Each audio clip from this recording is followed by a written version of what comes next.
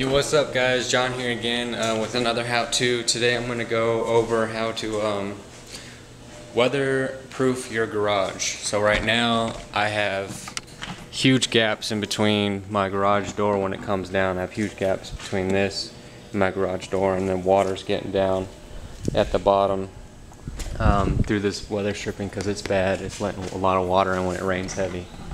Uh, and that's why you're seeing all this water uh, well, this leftover water that's on the ground right here. I swept a lot of it out. So water's coming in, it's pooling, and uh, when it rains real heavy. So I'm gonna go ahead and weather strip those, and I also need to replace some of the wood because it's dry rotted. So I'm gonna be replacing this this uh, one by six right here on this side and then over there I'll be replacing it on that side too. This side's been replaced before I bought the house so I'm gonna leave that there. Uh, I mean other than that yeah I'm gonna go ahead and show you what I bought to weatherproof it. Um, I went and bought some new Frost King uh, bottom door seal um, bought it at Home Depot. Um, and then that's for the bottom. And then for the sides, I bought this PVC um, uh, weather trim. It has the PVC uh, wood-like trim, and then attached to it, molded to it, is uh, this flexible, um, like vinyl-like uh, stripping that forms to the garage door. So you butt it up, you know, like so. And you get it in there and you press it against the garage door, which I'll show you here later. So I'm gonna go ahead and get what I need to get off, and that's the uh, the wood that I'm replacing. I'm gonna go ahead and take that off, and then I'll be back. All right, uh, so I got the uh, two end pieces off.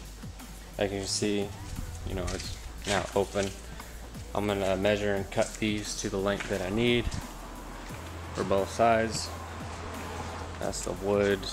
I'm just taking the scraps up to the curb so that the uh, trash guys can take it.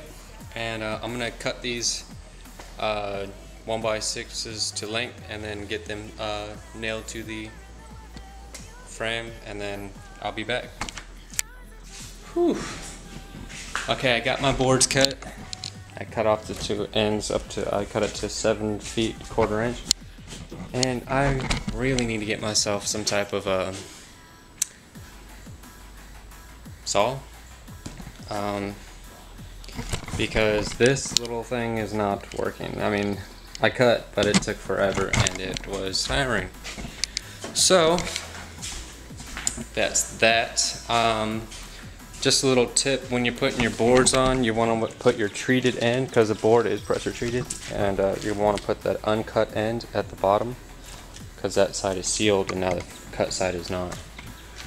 So, cut side at the bottom, because that's where it's going to see the most moisture.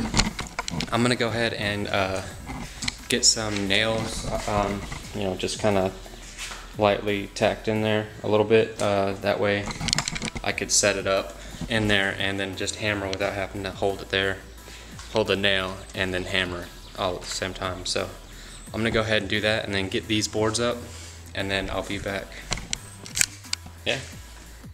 All right, back again. Uh, got my boards on. I left about a quarter an inch to a half inch of a space just to keep the water away from the wood. Um, so yeah, I got those on. Now I can start measuring up and putting on my trim pieces. Um, so I'm gonna do that.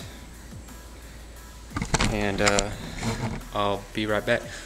Actually, no, I'm not gonna be right back. I'm gonna stay here. Um,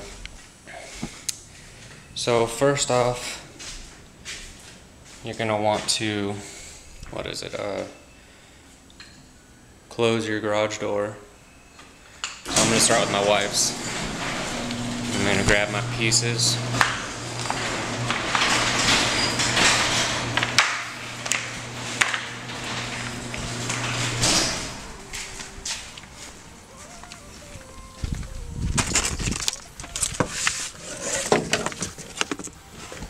As you can see I have a pretty nice gap there now so what I'm probably going to end up doing is going back and getting a uh,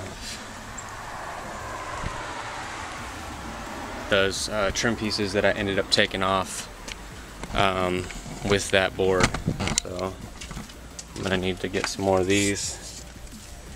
So I don't think that this is gonna be a good enough seal that I'm looking for. Yeah, I don't like that. I want it to be closer to out here.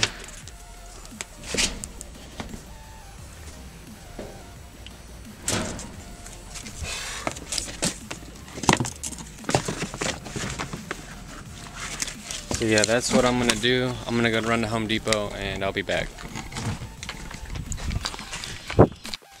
Alright, back from Home Depot. This is what I ended up buying. I bought some um, one by twos. Uh, they kind of have like a beveled edge just to give it a, you know, a little bit more better characteristic look instead of just a straight. So that's what I bought.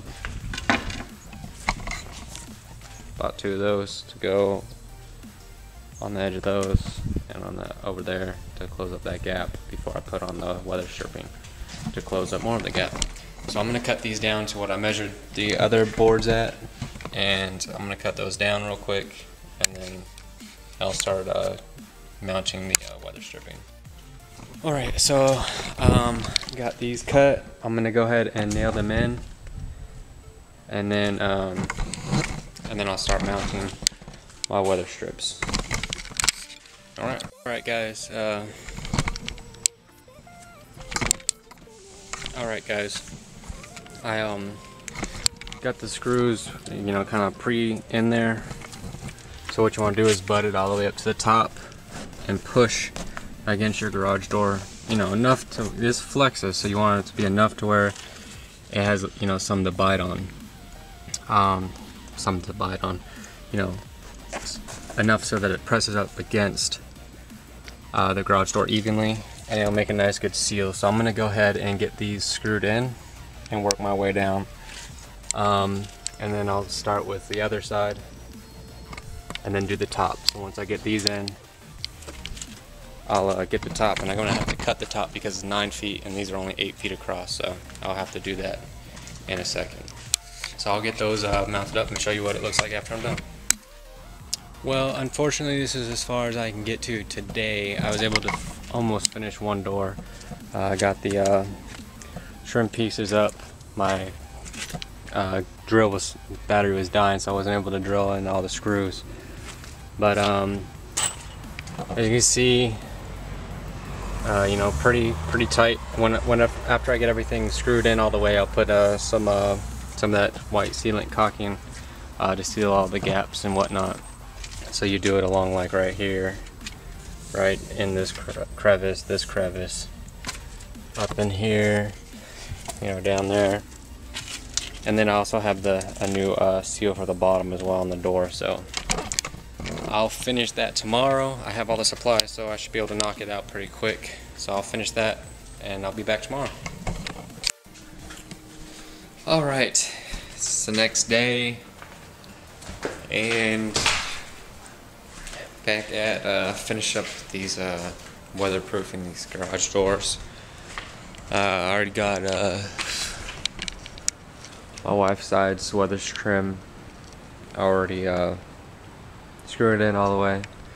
Uh, now I'm going to go ahead and slide this um, bottom weather seal piece out and put the new one in.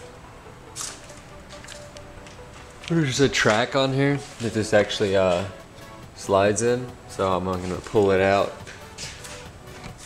from the side, just pull it out this way, and then slide the new one in. So I'm gonna go ahead and uh, pull that out, and then um, I'll slide the new one in, and then that's how it'll be done. And then, well, I mean, other than the uh, then caulking it and whatnot. So. I'm gonna go ahead and uh, change that bottom weather stripping. Alright, uh, I got the bottom, new bottom door trim piece in, the weather stripping for the bottom. You see Got that in.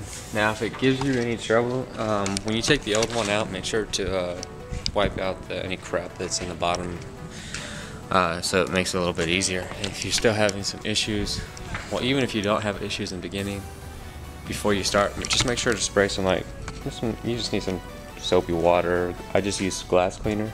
That's what I had laying around. So just, I just sprayed the track before I put it in. And it helped it slide through really easy. Um, I left about an inch hanging over on the side. I don't know if you can see that, but yeah, I got about an inch hanging over on the side. I'm gonna fold it and then tuck it back in to just to leave it a little bit room for when it, you know, spans and contracts during the hot and cold seasons. Um, and same for this side, left about an inch hanging over. I'm gonna fold it and tuck it back in. So, um, I'm gonna finish this side and then once I'm done with this side then uh, I'll move on to my side and uh, get the weather stripping uh, screwed in over here. Alright I'm gonna knock that out and then I'll be hitting my up my side. Alright all finished. Um, got everything you know, got the weather stripping up all along. And the new weather stripping on the bottom of the door. So it makes it good seal at the bottom. Uh, caulking's all in there. Uh, so yeah, if you're doing this by yourself, um, just make sure to check and see if you have any rotting wood at the bottom, like like I said before and I showed you before, you know, I had uh, this board right here was rotting, and so was uh, the other two boards that were on top of it were rotting as well. Uh, so I replaced that board and used another small piece. And then the same with this side. Um, this is something that most people can do themselves. Uh, hopefully this video helped you help show how you can do it yourself. And, uh, you know, little things like this around your house can be done by yourself. I mean, even big things around your house can be done by yourself. You just have to take the time uh, to learn how to do it. And hopefully this video has helped show you how to do it. I know I didn't go in detail step by step, but I did show you and tell you what I was going to do and then showed you that I did it after I've done it. Um, other than that, uh, hopefully, like I said, hopefully this video helped you. If it did, please press that like button and subscribe if you already haven't subscribed. Uh, there's more videos like this to come. Like uh, I'll be building my own fence soon around the backyard because it has a chain link one now, and uh, I'll be remodeling the bathroom and doing plumbing and stuff like that. So I'll show you guys how to. I mean, I don't know how to do any of that stuff, so this will be a first time experience for me too. So, but I'll go through the motions and hopefully everything goes good. Life stuff, you know? I got peace out, guys.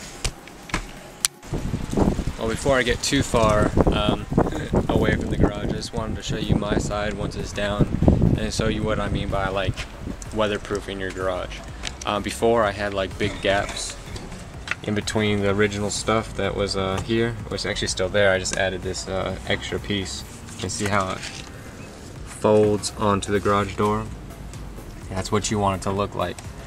So all the way around, along the top and all the sides. You want it to fold and it kind of gets a get nice good up there against there. and I got a new uh, weather stripping so it makes a good little seal. I put extra caulking um, to go up against to fill in this little gap so water doesn't try and sneak by. Um, I did that on each side so the caulking sits and pushes against that caulking on the bottom and makes a, a seal all the way across because there's going to be a little gap here. So I just put extra caulking there. Uh, it'll dry and form and then when the garage door goes down it'll seat against that and basically make like a little dam so if any water does try to get there it kind of just stays there and doesn't come into the garage all right, hopefully again, this video helped you. Um, you know, hashtag life stuff. This is life stuff. All right, peace guys. Tell me pretty lies, look me in the face, tell me that you love me, even if it's fake.